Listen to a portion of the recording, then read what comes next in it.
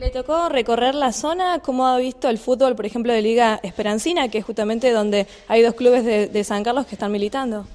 Nosotros tenemos muchas expectativas, tenemos un área de búsqueda, selección y detección de talento que está permanentemente rastreando toda la zona, no solo cercana a la ciudad de Santa Fe, como la Liga Esperancina y demás, sino que está permanentemente saliendo por todos los lugares. Y bueno, creemos que en el interior, en, las ciudades pequeñas y en los pueblos siguen apareciendo esos lugares que provocan que germinen los futbolistas con talento, con espontaneidad, con imaginación, que después pueden rutilar en los grandes equipos de Europa. ¿Cuál es por ahí la recomendación que, ustedes les hacen cuando, por ejemplo, los chicos de San Carlos eh, son convocados para jugar en Colón, para que por ahí pongan un poco los pies sobre la tierra? Hablamos de uno de los equipos grandes de, la Argentina y por ahí a veces las ideas se escapan, más cuando son eh, de edades muy tempranas. Bueno, es muy difícil a veces, porque yo siempre sostengo una frase de, de Paulo Freire, un pedagogo brasileño, que decía, en la cadena educativa existen tres eslabones, el hogar, la escuela y el club. Si el primero falla, los otros dos poco pueden hacer.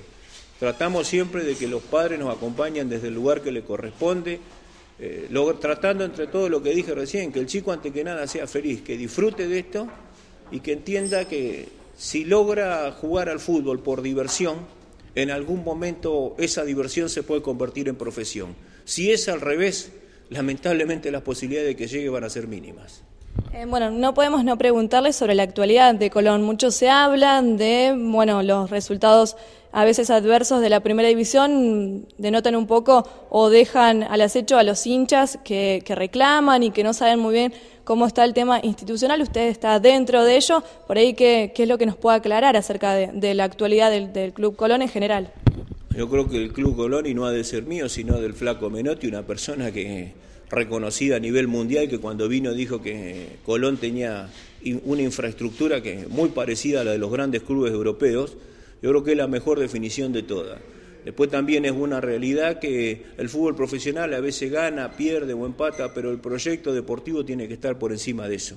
Ser campeón no es una obligación, es una aspiración, es una ambición, es un deseo. Cuando esa aspiración o esa ambición se convierte en obligación, bueno, pregúntenle a los clubes grandes de la Argentina cómo le ha ido.